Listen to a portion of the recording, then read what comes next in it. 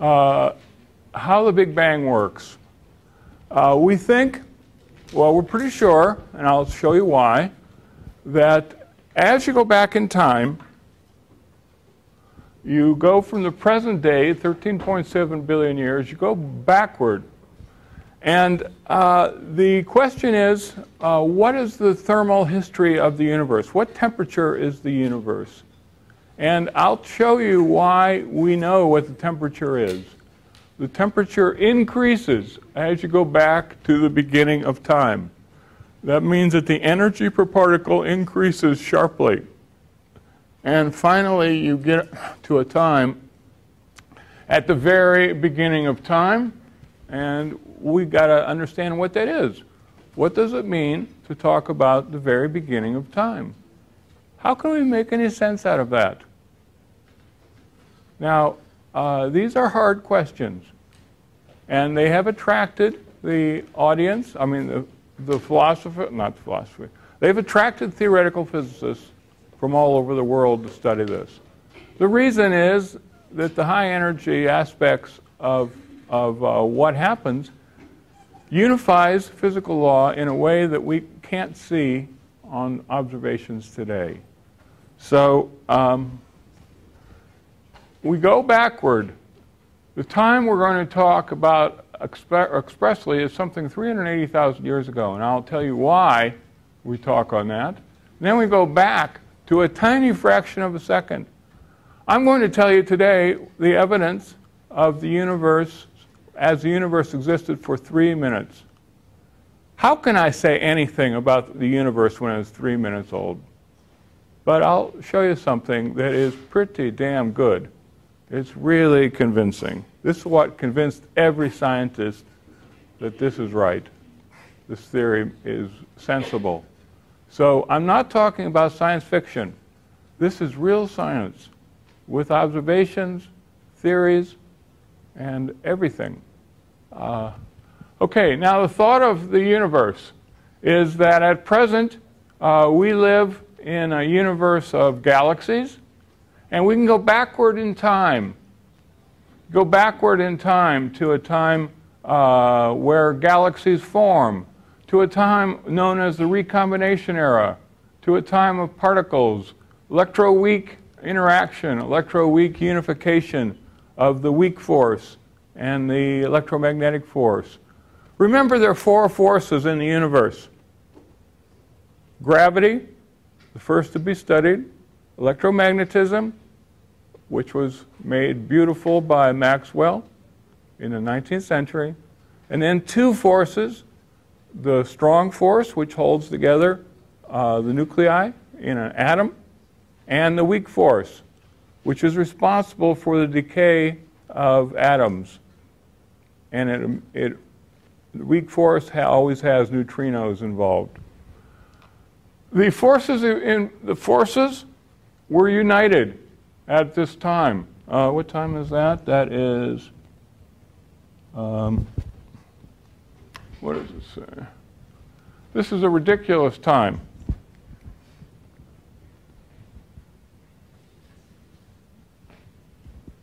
What is that? 10 to the minus uh, about 30th seconds. It's really a ridiculously hot time. It's very early. Uh, before that, up to 300 seconds, five minutes, the protons and neutrons were all that were in the universe, and the uh, electrons. And they did something pretty strange, and I'll tell you that in a minute. Uh, before this, there was something called, well, it might be, it might have the order wrong, the inflation epoch. Then there was the GUT epoch. The GUT means grand unified theory. And that was the time when the three forces were united and those forces are the strong force, the, electro, the electron, electromagnetic force, and the weak force. They're all the same theory. This is every bit as powerful as electromagnetism, which was unified by Maxwell in the 19th century. If we can unify the forces, they want to do it. And now they, they've got these three quantum forces that get unified. And where's gravity? How does gravity unify with this? And this has, solving this problem has attracted the particle physics audience like nothing else. There have been more papers written on the first 10 to the minus 35th seconds than you can believe. 10 to the minus 35th seconds, you know, that is no time at all. And yet, there are papers and papers and papers written about this. It's pretty impressive. Uh, that is an epoch when the universe was made up of uh, probably 10 dimensions. Now, has anybody heard of this so called universe, 10 dimensional universe? Okay, one. There is a show on television right now. I should have told you about this. I'm stupid not to on uh, PBS Nova, a series of Brian Greene. Uh, you can probably see the old ones. It's a four part series, and he's talking about theory of everything and why uh, scientists are attracted to this theory of everything.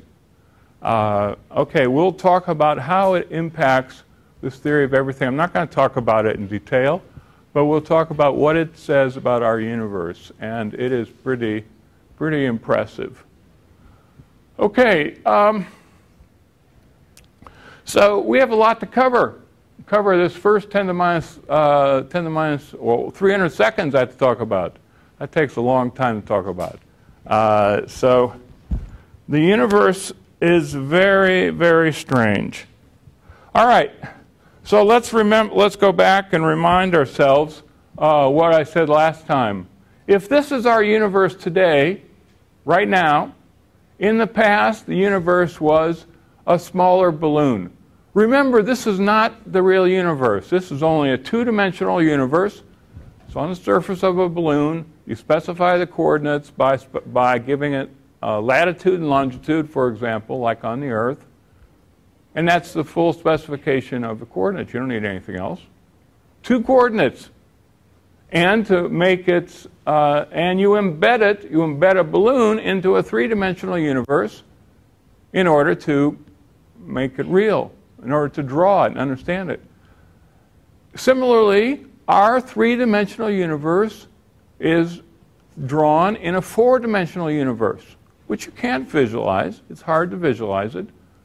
But the four-dimensional universe gives uh, the ability to draw a sphere in that universe. Now, this, this, particular, um, this particular universe has a finite, finite size. You go around and around and around, and you can come back and see yourself. You can see the back of your head if you look really hard. All right, that might be our case. We might live in such a universe, but we don't know that. All right, we might live in an infinite universe, and we're not sure. All right, so as you go back in the past, uh, all the wavelengths are stretched. Uh, this is a shorter wavelength than here. That means that uh, there's going to be a redshift. The, the photons are going to be stretched. Uh, if A is the size of the balloon, uh, they are stretched. Uh, Z naught is known as the redshift. H naught is the Hubble constant today. Uh, the redshift is simply 1 plus z is uh, the ratio of redshift. Oh, here, let's take this one. 1 plus z1 is the ratio of the size today divided by the size uh, at the time you're questioning. So this will be, say, A, the diameter of the balloon. And that's the redshift. Now, this is far better uh, than, this is the right definition of redshift. And a particle sitting on this balloon is expanded. He does not sense any, any velocities. He's not moving fast. It's not a Doppler shift like uh, the first when you analyze the local galaxies flowing away from us. You think that's a Doppler shift, but it's not. It's just the expansion of space. All right? So the expansion of space uh, is very, very strange. Now, um, when you look at faint galaxies, you're looking in the past because the light travel time is so long that those galaxies took, a, took forever. They took 10 billion years to get here, for example, 12 billion years. And you can identify the galaxies by their redshift. You measure the redshifts and find that they're at uh, redshift 3, for example. This, most of these objects are redshifts 2 or 3. Now, how do you see that? That means that you look at a spectral line, say a line that's uh, 1,100 uh, nanometers, and, you, a line comes out at uh, uh, 2, 3, 400 nanometers. It's four times bigger. And remember, 1 plus z is the size of that universe. So instead of seeing it at 100 nanometers, it's detected on your laboratory, uh, in your spectrograph on the telescope at 400 nanometers. Every line is shifted by that factor. And that tells you the object was uh, emitted, um, the light was emitted from an object when the universe was four times smaller than it is today. Four times, the universe was four times smaller. Now remember, this is not, this is the way to interpret it. Don't interpret it, do not interpret uh, the redshift as uh,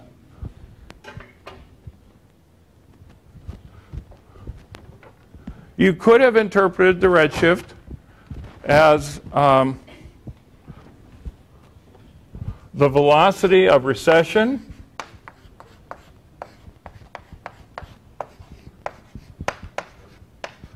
equals uh, h naught times d uh, equals, uh, um, and it equals, uh, it equals uh,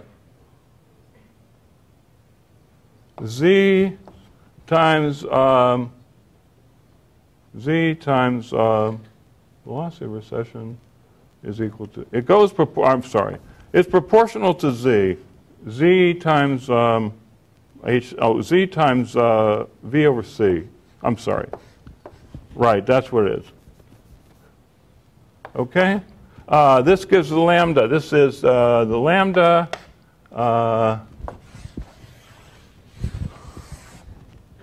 uh, observed over lambda emitted.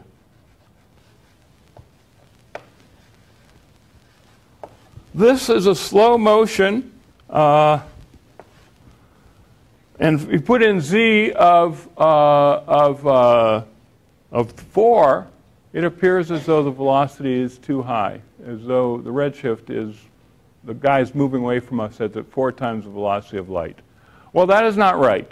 It is not moving away from us at all. No, no galaxies are really moving from us. They are simply tied to this space-time which is expanding. It is not the motion of an individual galaxy. It is simply the balloon that's expanding. All right, so uh, if you look at uh, the galaxies in a little detail, um, you can uh, see uh, interesting pictures. Uh, for example, at redshift 1, if you look at it, these are galaxies these are all galaxies. At redshift 2, I mean, here they're sort of blobby. Redshift 1, they're blobby, a little bit neater. Now, remember this, the movies I showed you yes, uh, Tuesday about all the galaxies forming, about them crashing and, uh, and being a mess uh, as they collide and form. Well, these, these look like they're colliding pieces, just like the movies showed. They look like galaxies in formation. But this is, at, this is 10 billion years ago. Uh, they're, they're, very different. So gal- it's appropriate. The galaxies 10 billion years ago didn't look like galaxies today. All right. Uh, now, the cosmological principle. Here is the basic thing about it. The, uh, cosmological principle is the universe is homogeneous and isotropic. And uh, what that means is that clustering of the universe is supposed to be, incons- it's not real important. But, there, but the clustering of the universe is real important. And the universe is inhomogeneous on scales of 100 megaparsecs. But on bigger scales, it's quite smooth. Okay, on larger scales, the universe appears homogeneous. That means the same in all directions, and isotropic, which means the same in all, uh, I'm sorry, same in all locations for homogeneous. Isotropic is the same in all directions. The universe appears to be homogeneous and isotropic. Okay, the, state, the cosmological principle states that any instant of time, a typical galaxy sees the universe, and it doesn't matter where, which galaxy you pick. Pick another galaxy far away, and it will see the same universe as us. That is the consequence of the cosmological. Yes, you have questions? Question? No. Okay. Any? Okay. That is that is how the cosmological principle works. Now, all observers uh, see uh, isotropic Hubble expansion. That is, a smoothing, smoothly expanding away from them. They appear to be at the center and they appear to have condensed at a time which is approximately 1 over h naught. That is the time that the universe appears to have been born, 1 over h naught ago. Okay, as the universe expands, the density has to go down. There's no question about that because we've conserved number of particles, conserved number of galaxies, uh, the, the past, in the past, density had to be very, very high. So that's, that's clear. Okay. Now, uh, we showed this movie, and this is what the universe looks like on large scale. A gigaparsec, that's a thousand megaparsecs, 500 megaparsecs,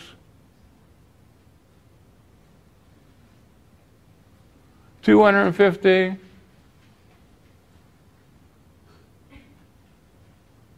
These voids are in all the universe, 125, and I'll, we'll say what, where they come from. And as you zoom in on a galaxy cluster this time, the universe becomes more and more inhomogeneous.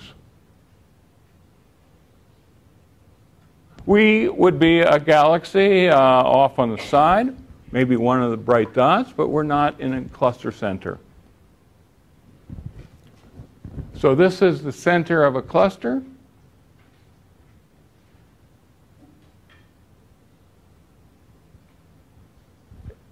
And then it goes out. Uh, we are uh, approximately here uh, relative to clusters. We're not in a, in a rich region. It's not that, that conspicuous. In fact, there's nothing you could do to say, you know, we live somewhere out here but lots and lots of galaxies are out there. Lots and lots and lots and lots of them. The number of galaxies is bigger than the number of stars in our galaxy. It's easily bigger than 10 to the 12th. We can see that many. That's a huge number of galaxies just in our region. All right, now, these are in co-moving coordinates, if you recall. Co-moving coordinates meant that uh, that um,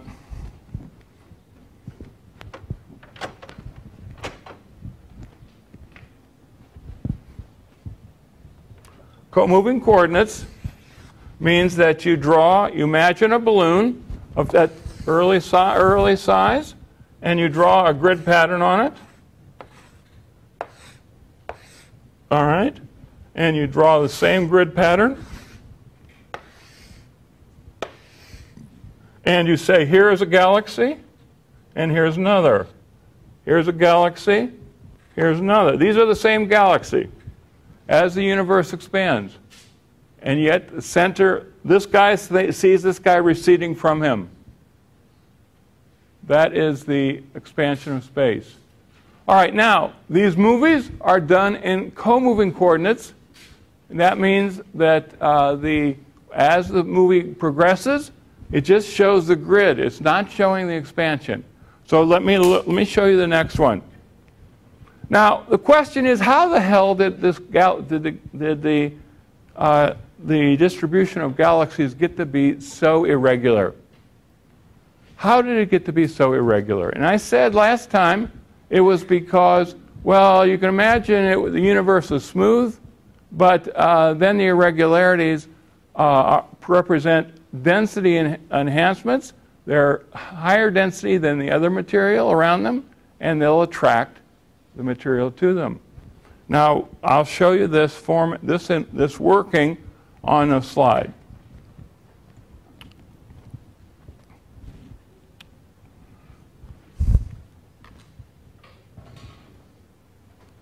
All right.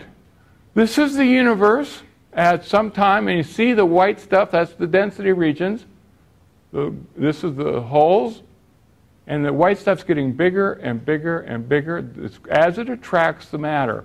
So see, can move, it's moving in, growing over time, moving in, and leaving de- under, under dense regions behind it.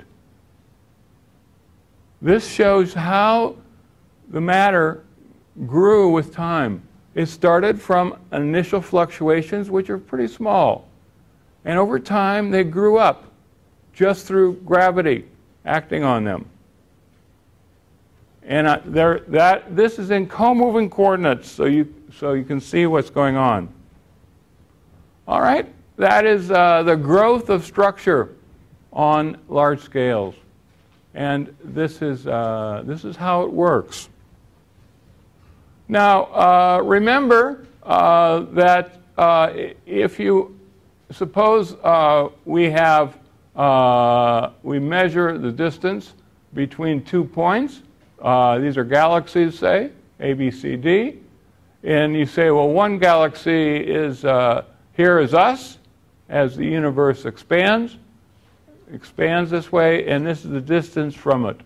So you say, well, let's take this galaxy. Uh, here's us, and here we'll take galaxy C. We'll say this is galaxy C. And in the interval, it expanded up to here. And the distance between them, this is distance, the distance between them has grown. And that's how uh, the universe expanded and everything receded. All right, so uh, in this coordinate system, uh, the uh, fixed latitude and longitude, uh, you can get a sense of what I'm talking about for co-moving coordinates. All right, the, um, everything, you characterize the entire balloon by specification of a function which can be called r of t, the size of the universe, or sometimes it's called a of t, size of the universe, doesn't really matter. Uh, and you sit on a fixed grid point. The real important issue to remember is that everybody sits on grid points and doesn't move. Now, what makes the galaxies move is the attraction of a nearby cluster that pulls the galaxy off of the grid point to make the cluster bigger, as the previous movie showed. Okay, uh, then describing R of t is everything. Okay, now Einstein in theory of relativity, when he put out the theory in 1915, uh, thought like everybody else that R of t should be a constant. That means the universe is static. That's what Newton thought. The universe is static, meaning it's not expanding or contracting. And he thought, well, that's how it works. And what he saw, what he, as he worked through the mathematics of the theory, he discovered that R of t is not a constant in his theory as he originally wrote it. It cannot be constant because the universe in his original theory is either expanding or contracting. And that is that was inevitable. So he modified his equations. He, uh, he led, he added a term. He couldn't conceive, he could not conceive the universe was expanding. Even Einstein could, was unable to conceive this observation. This was quite quite shocking to discover the universe is expanding. Now it's so routine, you've learned about this since you were children, and there's nothing to it. But it was not simple. To realize this was amazingly unbelievable. But the, the evidence was unambiguous that the universe is expanding. And he modified his equation by adding something called a fudge factor. Fudge factor is just a term to fudge the, fudge the results. So he fudged the results by adding a term known as lambda. Okay, I'll say what it is. This makes it, this term makes it possible for r of t to be constant. So he added this term to his equations, and suddenly he was able to find a universe that was constant. Now, this was really a bad idea. Uh, after the discovery of Hubble in 1929, the theory rejects the lambda term. He labeled it the biggest mistake of his life.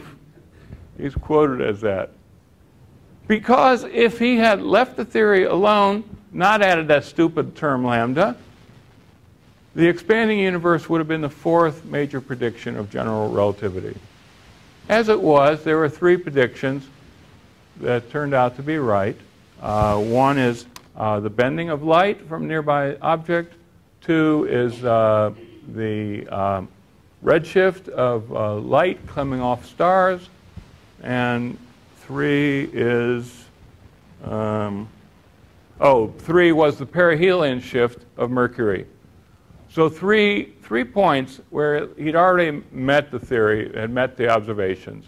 But this would have been a fourth point.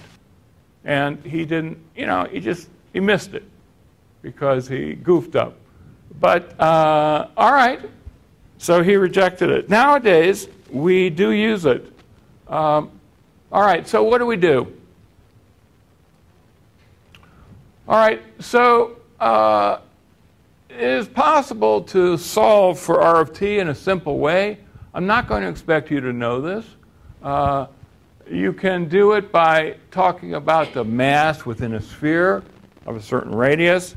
That mass is 4 pi over 3 r rho naught times rho cubed.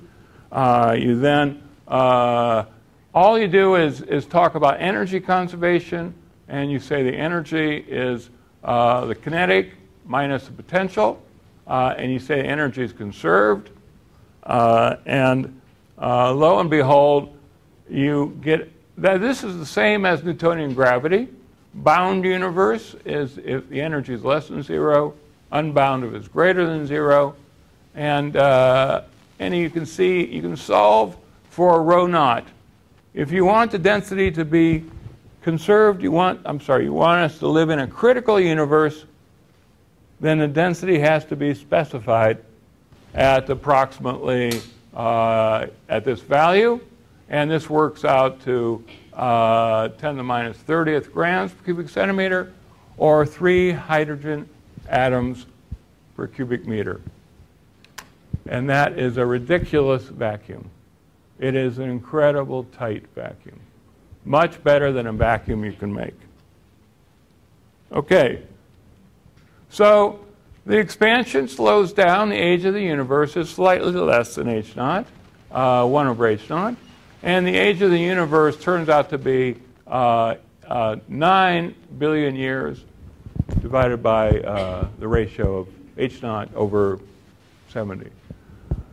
All right, so 9 billion years is uh, the estimate of uh, the age of the universe. But if you find galaxy clusters, if you find a, suppose you go and look at galaxies and discover a cluster uh, a, uh, that uh, is 12 billion years old, and you say the entire universe is only 9 billion years. Well, that's a conflict, right? You can't have a galaxy cluster be that old. You can't have it. It doesn't fit the data. It doesn't fit the theory. And so scientists knew this, uh, we knew that the universe, this was too young an age, and it wasn't acceptable. And so we had hints.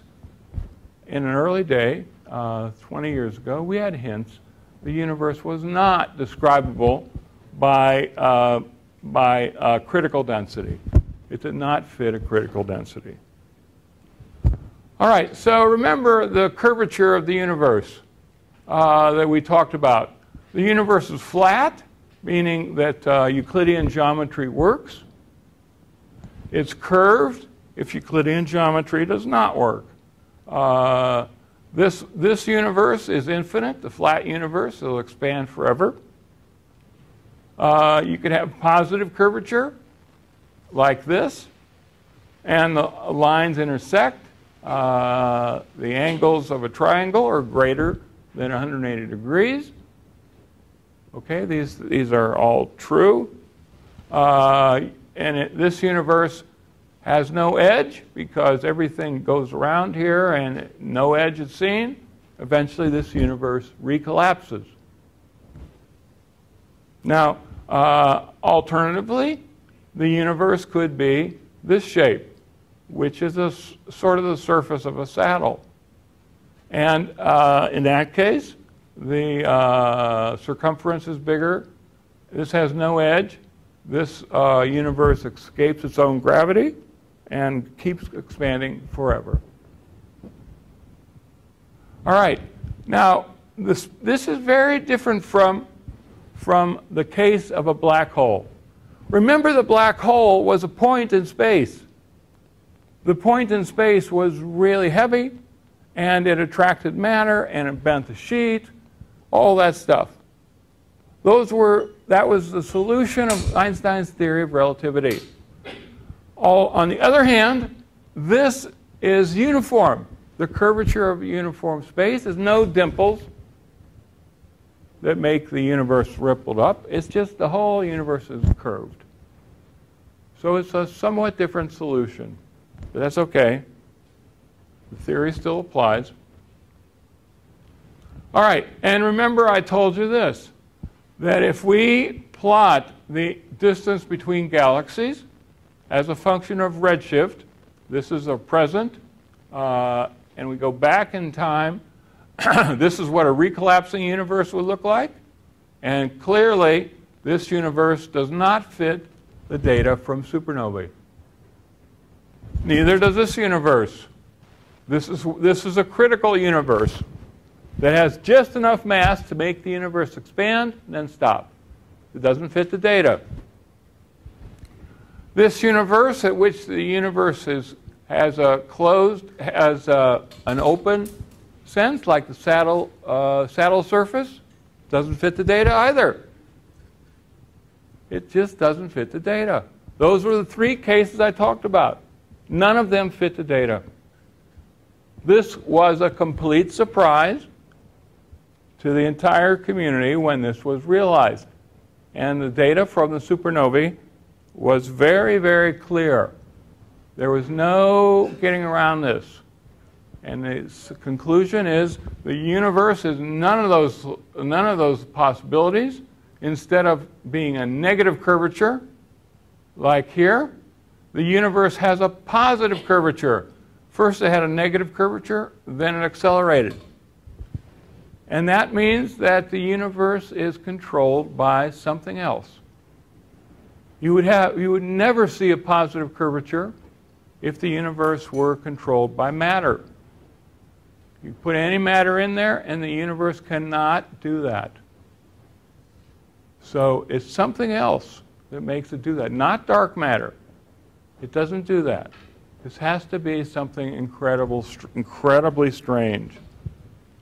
Okay, now, cosmological redshift. Uh, again, it's incorrect to talk about Doppler shifts. That is not what's going on. Doppler shifts do not make the redshifts.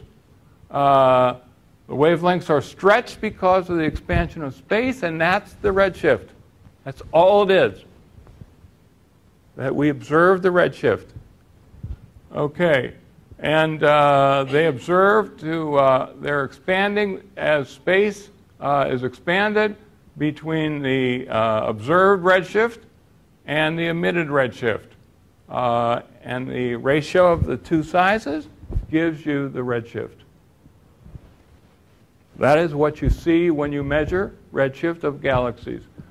When the projects that I just completed, we measured redshift for 50,000 galaxies. And they were all, most of them were uh, in the range of 1, 1 to 2. That meant the universe was uh, actually, no, I'm sorry. The observed wavelength uh, was twice what the, uh, what the wavelength was when it was emitted. We saw lines of oxygen that should have been, they would have been detected at uh, 37, 37, 372 nanometers, and instead we saw them at 8, 800 nanometers, for example, 900 nanometers, 1,000 nanometers, 700. We saw them all at tremendous distance.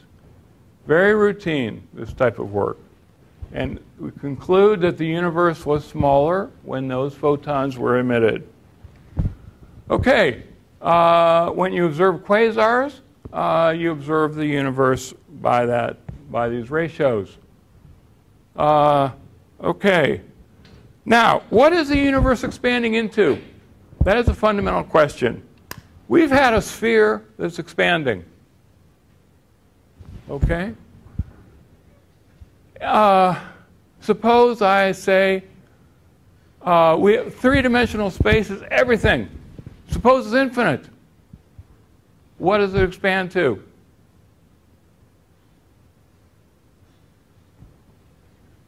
It just expands. Don't worry about it. It doesn't expand in anything. It is everything. The coordinate system are simply carried out there. They expand out there. There's nothing outside the universe. Don't worry about it. You cannot see outside the universe. We will never see outside the universe. So, uh, the universe is incredibly strange. Now, here I will draw a picture.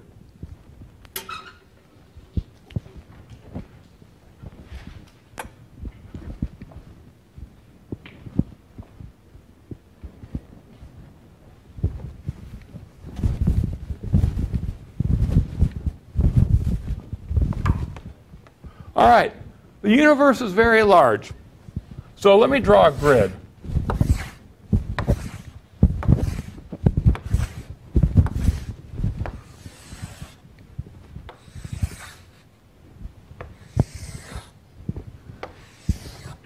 And suppose we put us here. And we look out in the universe. And you look and look and look. And we know that the further away you look, the higher the redshift. So, for example, I'll draw a circle. Of course, this is a circle in two dimensions. It should be a circle in three, right? Now, what is this? This, this is distance. Now, I'm in a co-moving coordinate system. Everything is on the co-moving grid. I'm not dealing with the expansion. So you say, well, what is this distance? Well, for example, you could put this at uh, redshift 1. That is, the time it took the universe, the photons to travel from here to here, was such that it had a redshift of 1, and that meant that uh, the universe was uh, twice, was half the size when it saw it. Redshift a half is not as far. one half. Redshift of 2,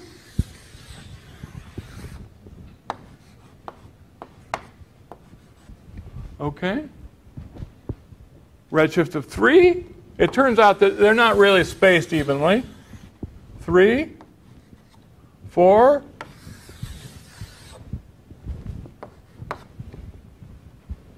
Now, what does that mean? That means that when I look back from here, it took the universe a long time to send that photon to me. All right, what do I say? What do you say if the universe is 13.7 billion years? That is to say, I'm going to look at a photon. I, you can't do this, but I'll say you look at as something that has been moving freely to us since the universe began. All right, and I'm going to draw it right out here.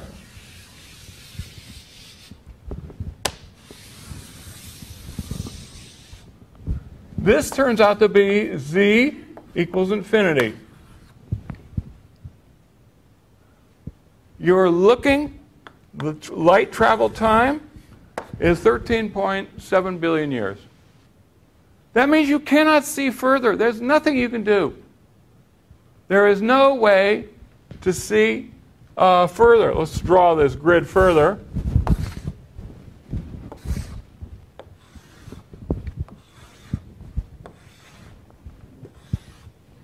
These points are, they have a light travel time that's older than the universe, so we haven't seen them.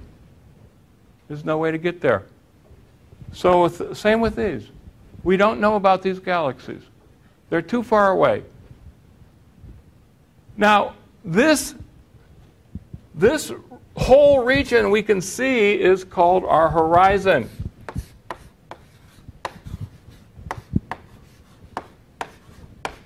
For obvious reasons. That's as far as you can see. It's actually a cosmological cosmological horizon.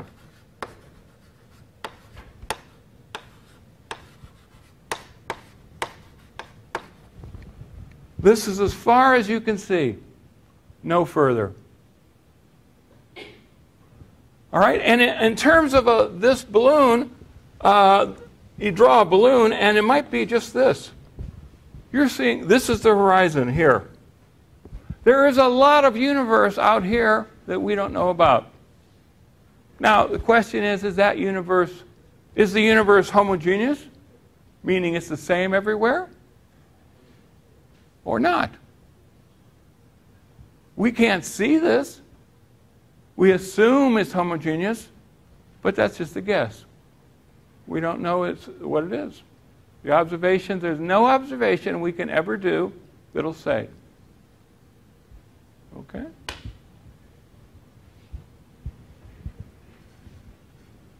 All right, so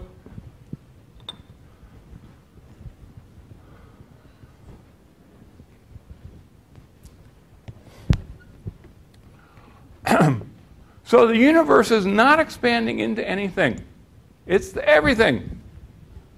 All right? And there's nothing, don't worry about uh, what the universe is expanding into. If your mother asks, well, you learned about cosmology. i have had a question. I don't understand what, it, it's expanding into. Tell her not to worry. There are more serious things to worry about. Okay, as we'll see. Okay. Um,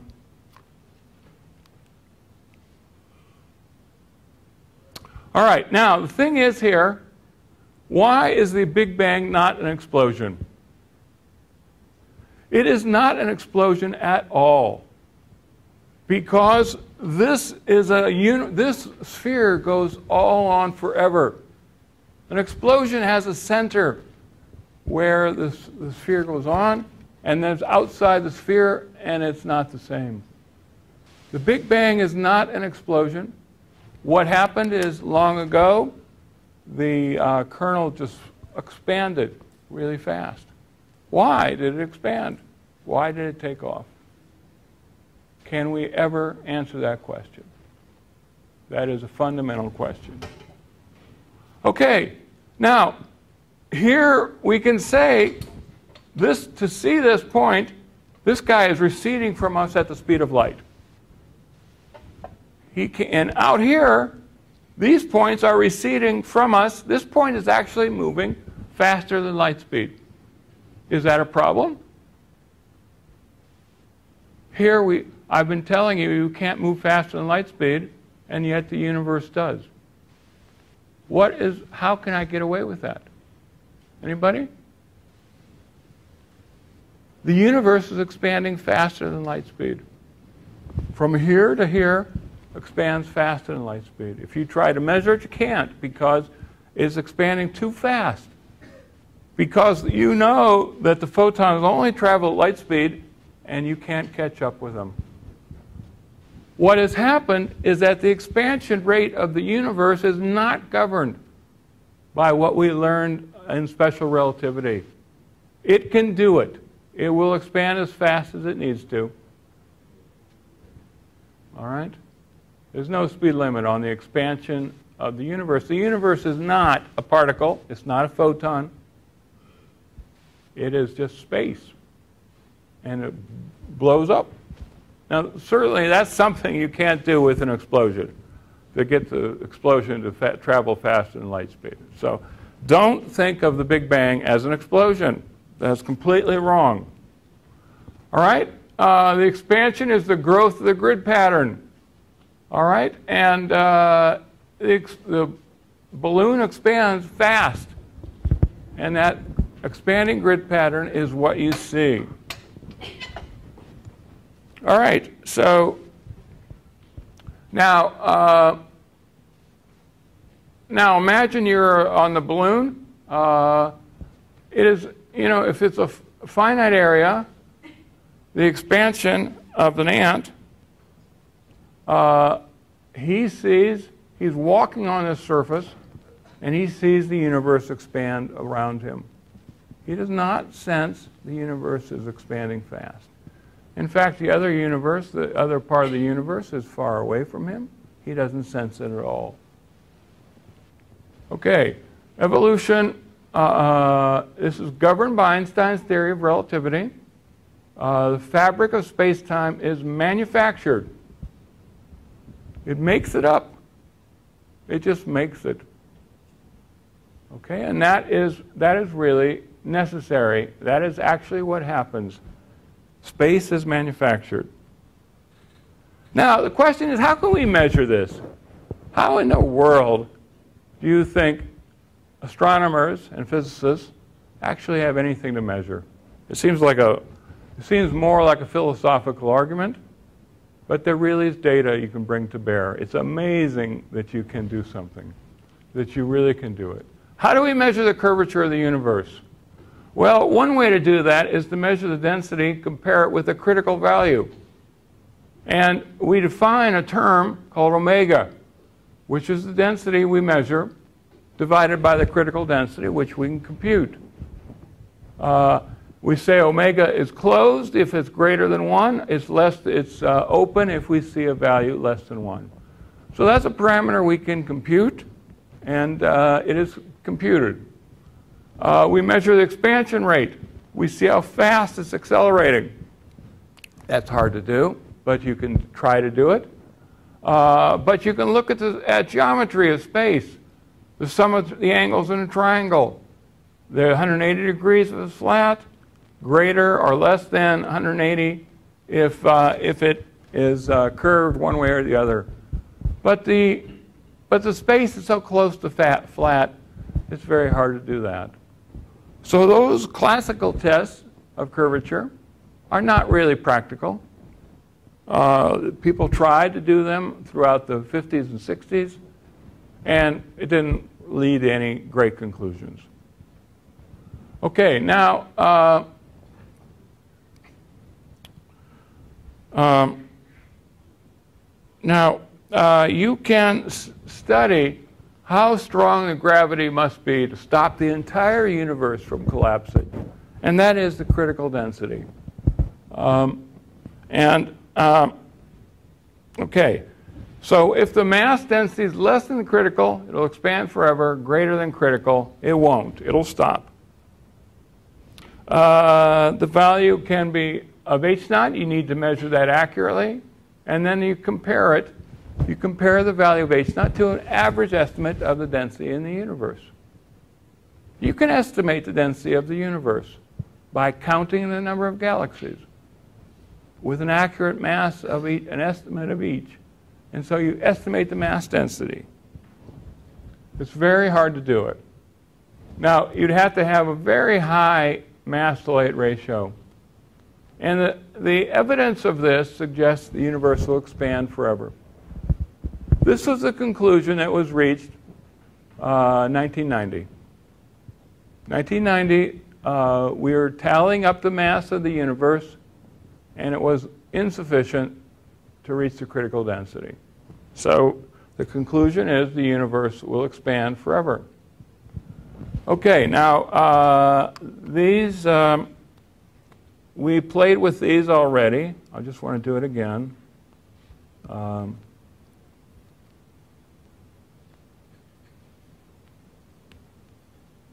okay, the, remember that uh, the, uh, the universe is on a grid. These are galaxies on a grid. They take off, they expand, and meanwhile the curvature of the universe is curving down and that is how it works. Alternatively, uh, if you increase the mass density up to a high value and do it again,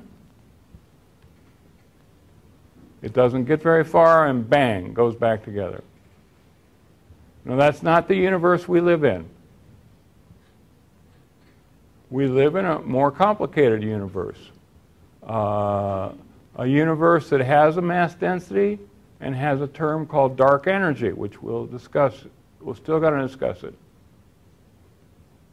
The dark, we, the dark mass needs to be higher in order to curve the universe a little bit. So up, it, up this.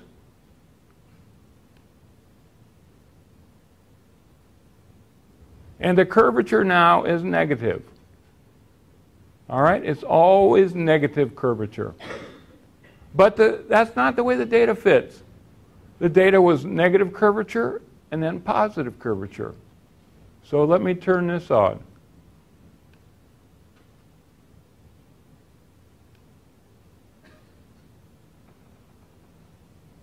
Here it has a slight positive amount. If I turn on high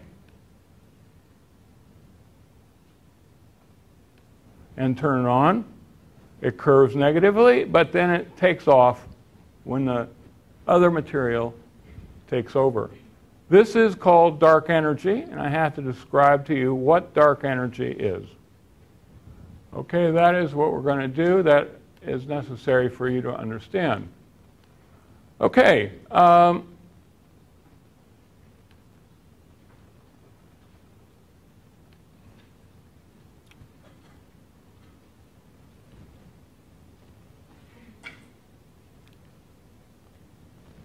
Okay, the, uh, and the universe appears to be on this sort of trajectory negative curvature for a while, then positive curvature.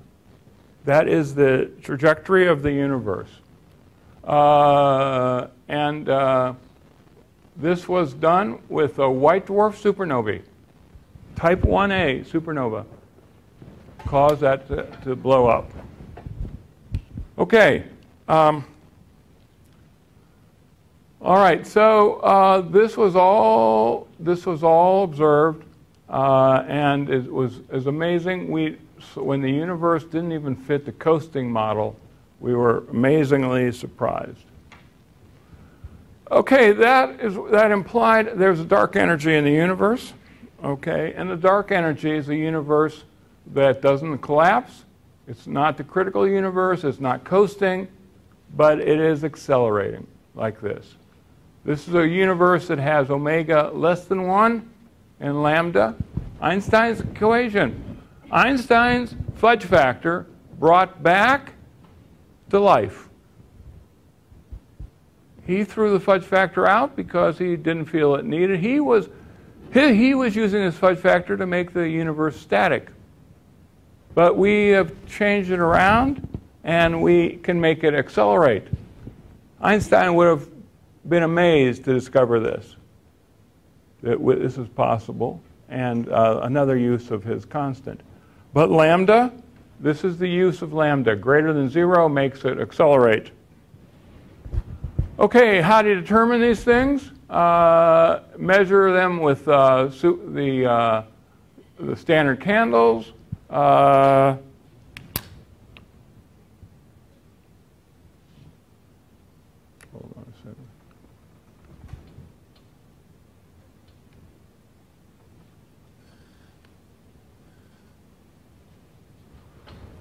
Okay, um, you, can, uh, you can look at the deviations from the Euclidean law for the uh, brightness.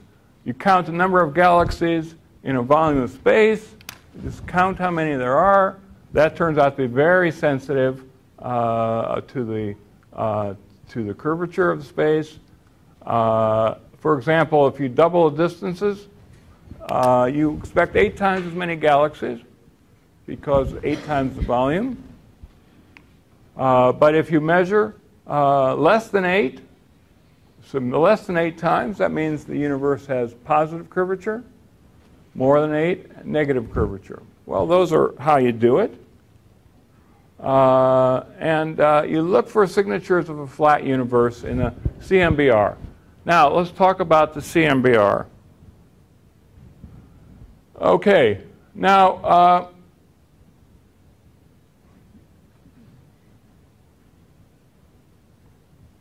this was extremely difficult to do.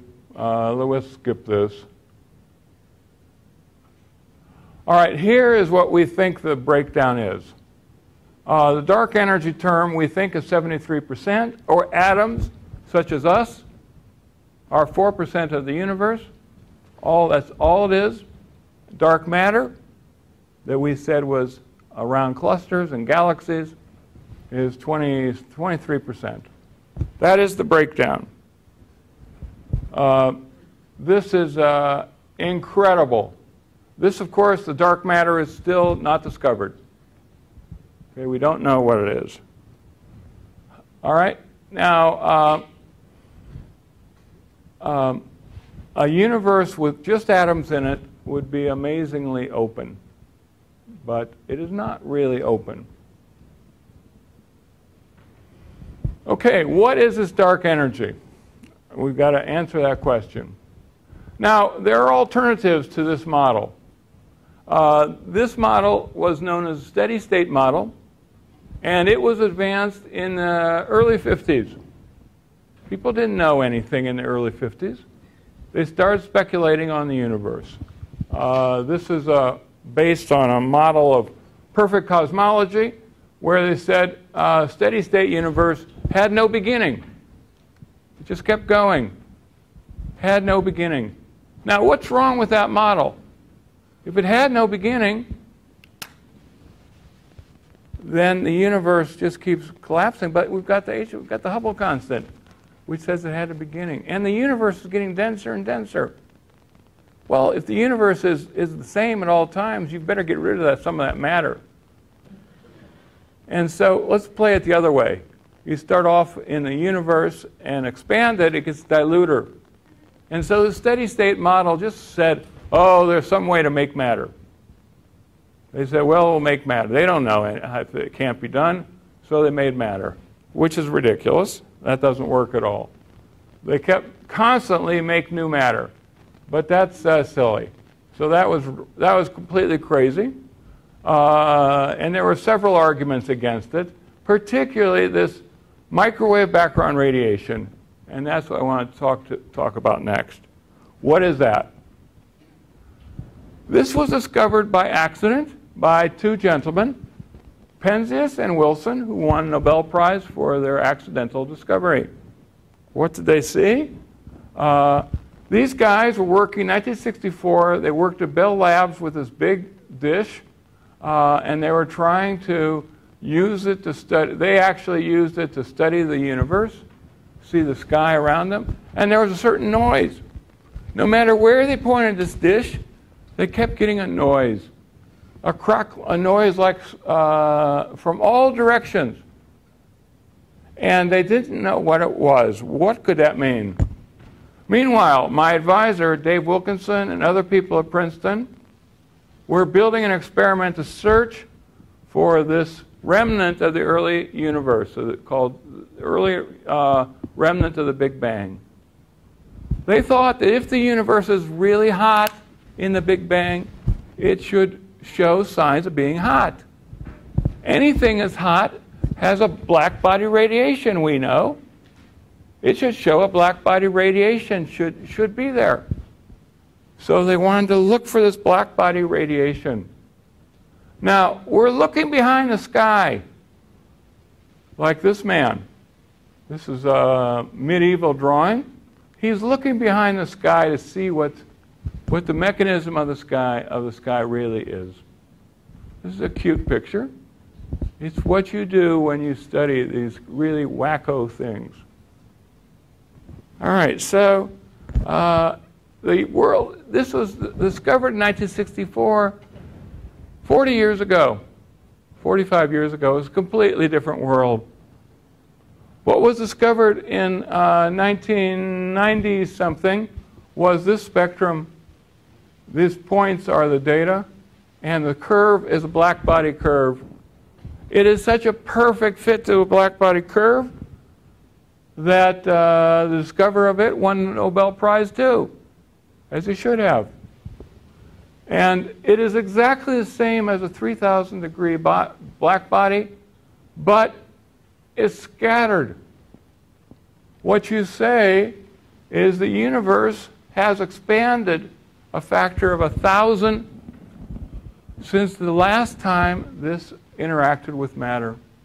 This thing has redshifted by a factor of a thousand.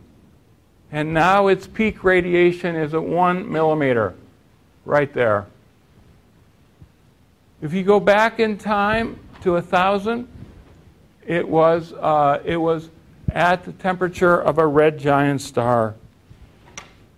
Okay, this is known as the microwave background radiation. This was discovered by accident in 1965, coming everywhere, and has a temperature that is now known, now measured very precisely, 2.7 degrees Kelvin, 2.73 degrees Kelvin. That is the temperature of the universe. Doesn't, now, we're a little warmer than that here. It's Kelvin. You know, that's uh, minus 273 Celsius. It's cold. So the universe's temperature is minus 200 degrees, 270 degrees uh, Celsius. That's not our temperature, of course. That's the temperature of the universe. What do we mean by temperature of the universe?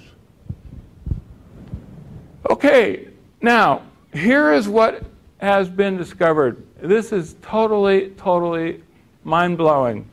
You got to understand what they're looking at. They looked, now, Penzias and Wilson could not see fluctuations. They looked here and here and here. Everywhere they looked, the microwave radiation was exactly the same temperature, to the best of their knowledge. But here, we've got a picture that takes away, it's like you tune the picture, you tune out all but a part in 10 to the fifth. You tune out all 90,000, 90, I'm sorry, 9999 of the, of the radiation is thrown away, and just look at the fluctuations on what's left. A part in 10 to the fifth, or 10 to the fourth, I'm sorry. One part in 10 to the fourth gives rise to these fluctuations. This is what the, sorry. This is what the universe looks like. Oh, God. Come on. This is the universe. This is the whole sky. And this was done with 7 degree resolution on a receiver of the cosmic background radiation that flew in the late 80s, 90s. Okay, they flew it again. They flew another experiment just completed a few years ago known as WMAP, Wilkinson Microwave Anisotropy Probe, named after my advisor, Dave Wilkinson, who had died in the meantime, was very instrumental in the building of both of these experiments. This, this device has higher resolution, so we'll just look at this one. Uh, what you're seeing is a lot of crazy stuff. These are ripples, plus and minus ripples on the sky, really small ripples on the sky. These ripples made all the structure in the universe. These ripples made everything. It made galaxies, it made clusters of galaxies. It, it represents a small fluctuation in the universe. And the question is how the hell did these ripples come to be? Why were they put into the universe at all? What was the horizon scale of the universe when this radiation was impressed? These particles, we're seeing the universe at a time when the universe is about 300,000 years old. That's what we're seeing. In that time, you're the horizon of somebody at the beginning, and if you measure the horizon at that time, the horizon was about this big. It was one degree was the horizon. And yet you see coherent structure over 300 degrees, 360 degrees. And the question is, how the hell did that get there? How were these fluctuations put in the universe when there was no time for anything to be put in the universe? We don't know how this was done. And this was a tremendous, tremendous mystery. Everybody argued about this, and nobody had any idea how to do this. This became the number one mystery of the universe. Now, in addition, uh, there's, uh, in addition, there is structure. These ripples have a structure like you have on a DC, on a stereo receiver. If you play the, this frequency response, uh, there's a big wave at uh, about just over just about a degree, and then smaller scales, there's other waves. This is this scale, this is the microwave radiation. This is the points are the data, and the curve is a model. This model seems to fit the data really well. Now, what do I mean by this model? This model is a lambda cold dark matter model, and it fits. What does that mean?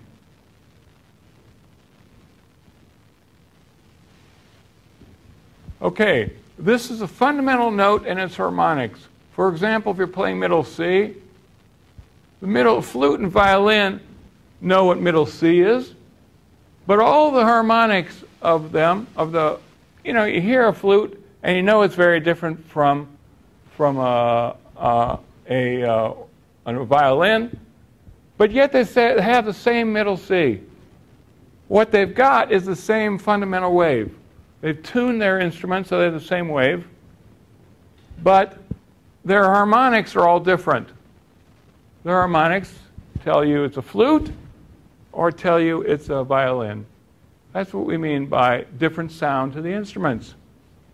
You can tell what's, what the instrument is by playing of this. And similarly, we don't draw this just, uh, just draw it. It depends on all the universe's parameters. It depends on the dark energy, the dark matter, the baryons, lambda, H naught. All those parameters enter into drawing this curve. Those specify the harmonics. And with this, you conclude that the total omega is 1. The universe is closed.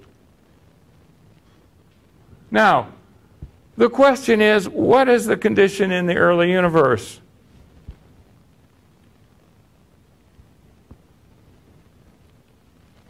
Okay, now the universe uh, started to emit to us. We see galaxies when the universe is just a few billion years old.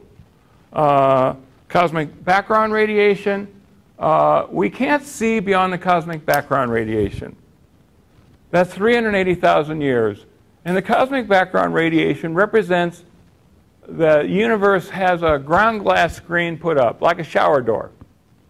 A shower door, you can't see beyond the shower door because it's ground glass and all the light gets scattered in there.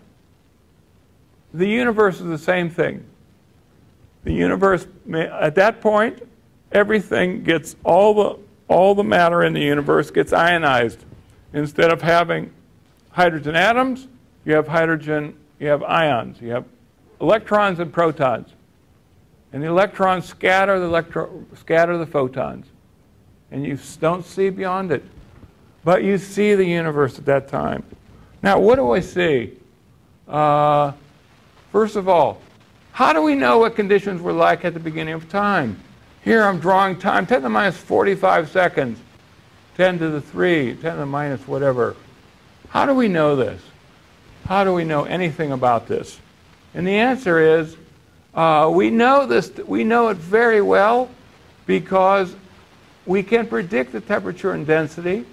Uh, the experimental evidence, we can know that the temperature of the universe scales as the expansion. as the universe expands, the temperature goes down. It's 2.73 degrees now. When the uni- when redshift 1, it was twice that. Redshift of 1,000, it was 1,000 times that, 2,700 degrees.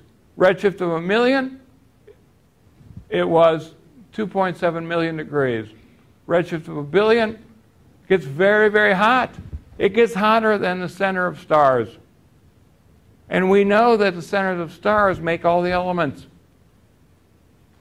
Everything is made in there. So, in fact, we're not too surprised that elements can be cooked in the early universe because it was extremely hot. Very, very hot. You can run the expansion backwards and see the temperature going up. Here's the temperature from uh, 100 degrees, 10 to the 4th, 10 to the 20th, 10 to the 32nd degrees. That's a ridiculous temperature. 10 to the 32nd degrees. Remember, the hottest we got in stars was down here, 10 to the 10 to the 10th degrees. We're simulating the universe when it was about 10 to the minus, what is that, 10 to the minus 10 seconds. The universe was that hot. But we can simulate, we can study it earlier. Okay. And so we study all this stuff. We study the universe at different times. And next time we'll talk about what we can learn about them and what mysteries we have.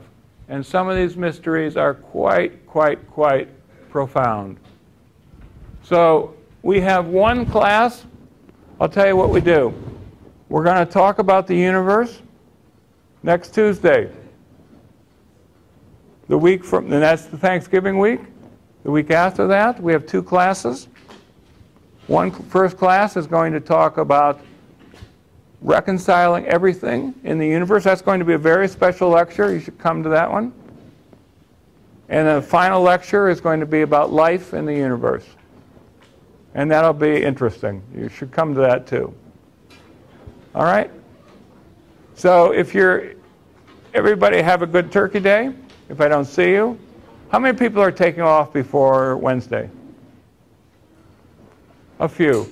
All right. The people who miss Wednesday's lecture can read about it on the notes, of course. Hmm? Tuesday, yeah, Tuesday's lecture. You can read notes, and there's some sort of way you can follow uh, follow this in bSpace. Okay, I'll see you next week.